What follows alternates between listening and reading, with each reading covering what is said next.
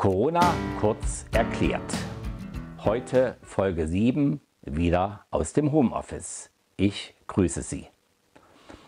Vor dem Hintergrund der jüngsten Proteste und Kritik an den Virusschutzmaßnahmen bis hin zur Leugnung der Existenz einer Coronavirus-Pandemie überhaupt sind weitere neue Erkenntnisse über das neue Coronavirus umso wichtiger, dass es sich eben nicht um eine Infektion handelt, die harmloser als eine Grippeerkrankung ist, was uns so mancher Verschwörungstheoretiker oder vermeintlicher Hobby-Virologe glaubhaft machen will, zeigt eine aktuelle wissenschaftliche Publikation aus dem UKE, also dem Hamburger Universitätsklinikum.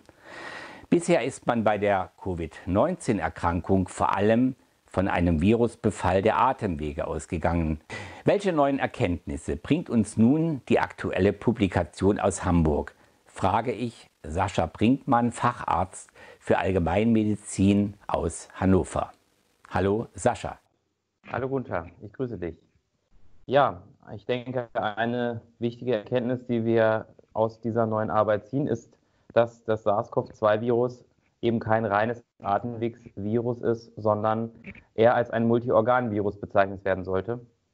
Denn was gesehen wurde in dieser Arbeit ist, dass es einen vielfältigen Befall unterschiedlichster Organe des Körpers gibt und dass hier auch speziell, was die Niere angeht, ganz spezielle Befallsmuster äh, festgestellt wurden und dass auch die Niere ein Organ ist, was ähm, mit am häufigsten neben den Atemwegen von dem neuartigen Coronavirus äh, befallen und in Mitleidenschaft gezogen wird.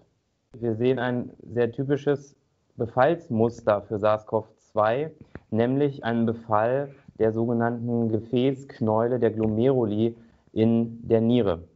Und ähm, das ist etwas, was sich auch mit bereits bekannten Untersuchungen deckt, dass dieses Virus besonders gerne ähm, Blutgefäßstrukturen befällt, warum auch Patienten beispielsweise mit ähm, vorbestehendem Bluthochdruck oder auch vorbestehendem Diabetes offensichtlich eine ganz besondere Risikogruppe darstellt.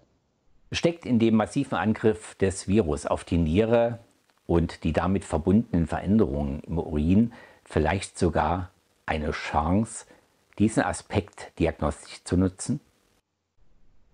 Die gibt es in der Tat. Es gibt äh, aus der Arbeitsgruppe der Nephrologie, Rheumatologie in Göttingen einen ähm, Algorithmus, der äh, unter anderem auf Basis dieser Erkenntnisse entwickelt wurde. Und zwar ähm, wurde hier gezeigt, dass ein frühzeitiger, sehr kostengünstiger und breit verfügbarer Urintest, nämlich der einfache Urinstix-Test, ähm, bei Patienten, die einen Verdacht auf eine Covid-19-Erkrankung oder auch eine nachgewiesene SARS-CoV-2-Infektion haben, ein frühzeitiger Marker für einen schweren Verlauf sein kann. Und zwar zeigt sich bei Patienten, die für einen schweren Verlauf gefährdet sind, sehr früh, dass sie weiße Blutkörperchen, rote Blutkörperchen und auch das äh, häufigste Eiweiß in unserem Blut, das Albumin, verstärkt im Urin ausscheiden. So hätte man also eine Art Frühwarnsystem in Form eines Screenings für Risikopatienten. Wir wissen jetzt, dass das Alter alleine definitiv nicht für eine Risikogruppe äh, prädestinieren kann. Es gibt sehr gesunde Menschen über 65 ähm, und es gibt Menschen, die Mitte 50 sind und beispielsweise an der Kombination Bluthochdruck und Diabetes leiden. Und diese Menschen haben eben sehr häufig auch schon angegriffene Nieren und sind viel stärker gefährdet als beispielsweise eben ein sonst vollkommen gesunder 65-Jähriger. Also das Eingrenzen der Risikogruppe in der Allgemeinbevölkerung wird immer deutlicher und schärfer und eben auch ähm, bei infizierten Patienten ein frühzeitiger Marker zur Erkennung eines schweren Verlaufs. Und das sind wirklich sehr, sehr gute und auch in der Praxis sehr relevante Erkenntnisse. Und wieder sind wir einen kleinen Schritt weiter im Wissen um dieses Virus.